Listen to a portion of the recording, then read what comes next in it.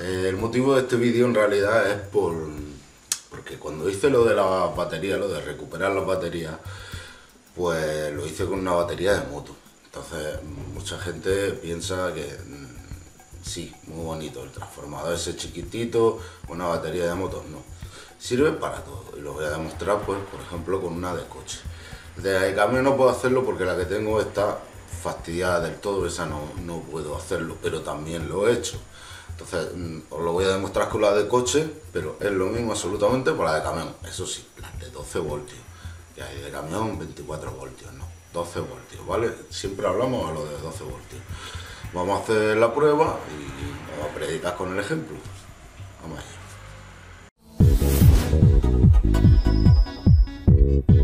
Para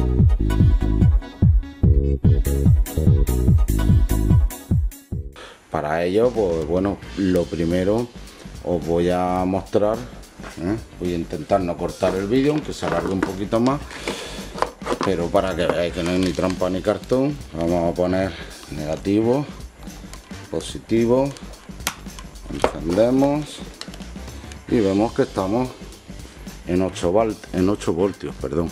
Eh, le damos intentar hacerle la carga y no hay manera. Con 8 voltios no, lo coge el cargador vale entonces vamos a coger vamos a quitar de nuevo el cargador.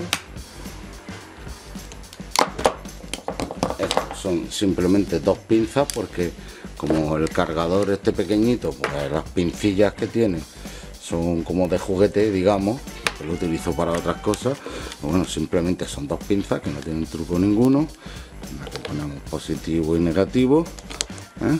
para ahora poder enganchar nuestro transformador en el que vamos a poner negro negativo rojo positivo y ahora quitamos los del cargador y vemos que ya se nos enciende aquí el piloto de, que demuestra que ya está cogiendo voltaje de ahí y ahora le metemos nuestros 12 voltios con nuestro transformador ¿eh? a esta batería de coche esto, si queréis vamos a ver tengo ya el follón de cable pero voy a intentar quitaros esto del medio para demostrar atrás, ¿vale? Que solo está transformador ¿eh? enganchado a estas pinzas grandes porque las, pequeñitas estas no me dan para enganchar aquí en el borne pero es simplemente para eso y ahora qué pasa pues bueno que evidentemente la batería de moto tardó nada y menos en, en resucitarla porque bueno es una batería pequeñita eran 4 amperios esta en concreto son 70 amperios hora 700 720 arranque en frío o sea que es una señora batería ya y como vemos está cargando ¿qué pasa? pues bueno que ahora hay que controlar el transformador de momento no se calienta absolutamente nada va a tener que estar más tiempo conectado ¿eh? para poder subir el voltaje para recuperar. Eh, os voy a contar el tiempo que pasa y ahora lo comento. Bueno con mi soporte reciclado para móvil son las 7 y 7 de la tarde ahora mismo vale cuando lo estoy poniendo. Se podrá apreciar bien ahí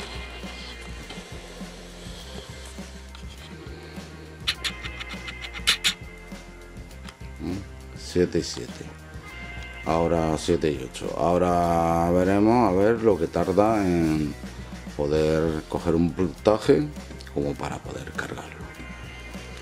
Para ir comprobando pues, simplemente le vamos a enganchar ya que tenemos esto aquí vamos a engancharlo del cargador también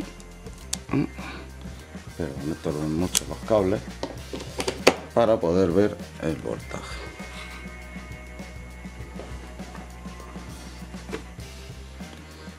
como vemos nos da error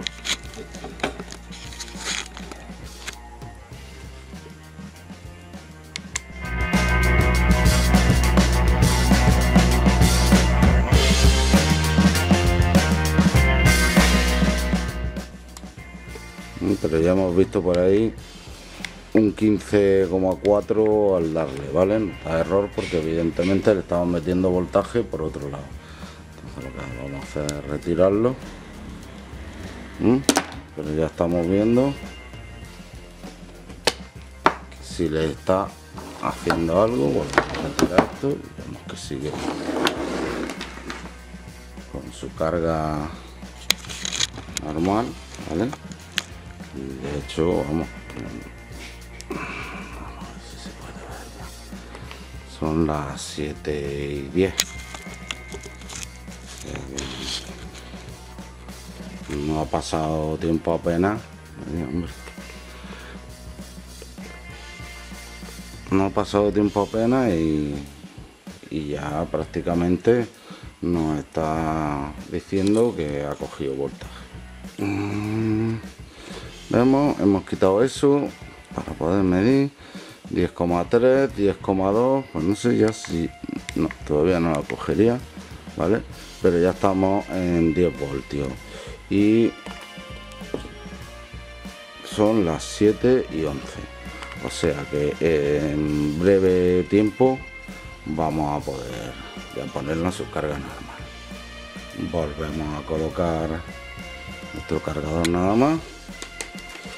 Yo creo que en total en unos 15 minutillos o algo así ya no debe de haber cogido la carga. El transformador sigue totalmente frío, ya os digo, el de un amperio os recomiendo porque aparte de que la carga va a ser un poquito más rápida, no va a sufrir el aparato, ¿vale? Esta batería está totalmente fría también, no tiene ningún problema, ya estamos subiendo el voltaje con el transformador voy a buscar un polímetro a ver si lo tengo por aquí a mano para enseñaros el voltaje que le está metiendo realmente. Para ello colocamos nuestro cargador vamos a colocar las pinzas. Eh, vamos a enchufar este y a desenchufar el otro. Y vemos que nos está dando 10 con 2 va a tener que estar un rato más. Esta batería estaba hecha polvo desde luego en 8 voltios es bajísimo. La vamos a dejar más tiempo.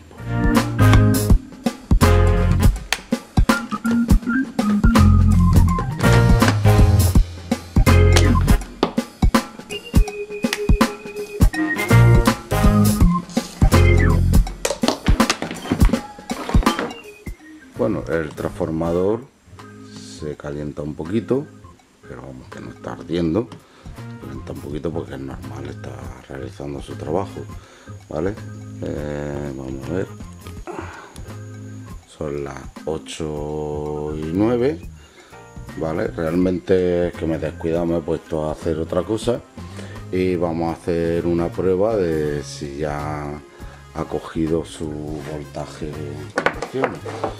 para ello recordamos que vamos a poner nuestro cargador.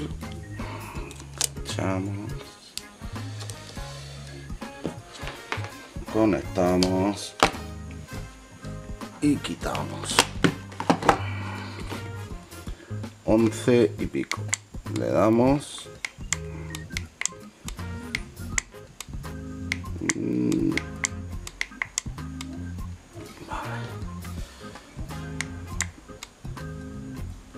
esta batería está bastante jodida. Vamos a colocarle. Desenchufamos. Y bueno va a seguir. Veis que la batería estaba muy muy muy jodida. Y bueno pues necesita más tiempo evidentemente que una batería de moto. Pero al final veréis cómo carga bueno, pues esto lleva unas cuatro horas más o menos. Vamos a volver a poner.